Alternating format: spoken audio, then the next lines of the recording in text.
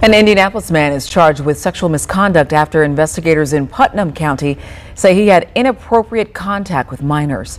Court documents detail the accusations against Kevin Reckelhoff.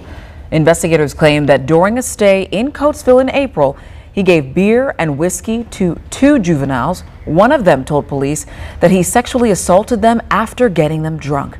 Reckelhoff is charged with sexual misconduct with a minor and giving alcohol to a minor. He's due in court again in October.